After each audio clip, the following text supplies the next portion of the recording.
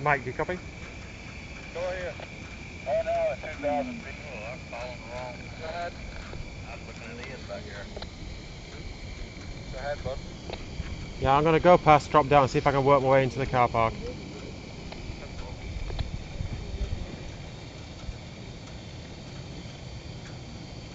Ian, if you look down below you there, you can see Sand Hill Road. It's a little road that runs right next to the expressway on the left side.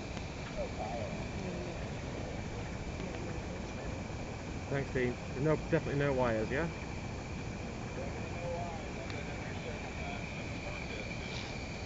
Thank you, sir.